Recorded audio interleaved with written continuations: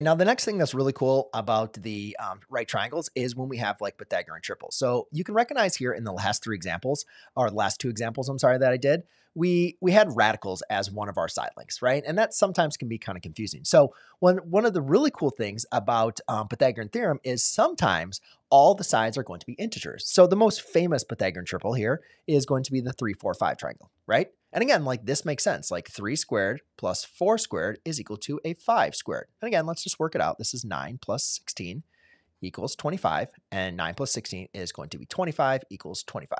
Now, here's the cool thing about the Pythagorean triples. This 3, 4, 5 triangle, right, is a Pythagorean triple. And guess what? Every multiple of 2 of that is also going to be a Pythagorean triple. So therefore, we can also say the 6, 8, 10 triangle, the 12, 16, 20 triangle is also, and you can keep on going on and on and on.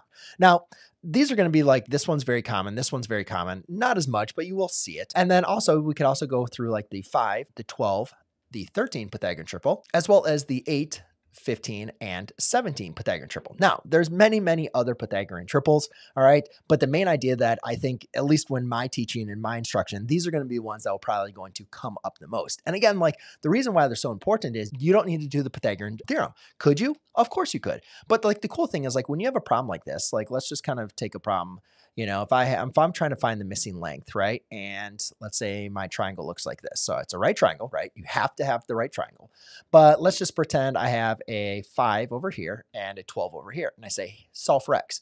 Well, you could go ahead and do the Pythagorean theorem, right? But again, so maybe like your math is a little bit off, but hopefully you recognize, like, say, hey, this is a Pythagorean triple. 5, 12, the hypotenuse has to be 13.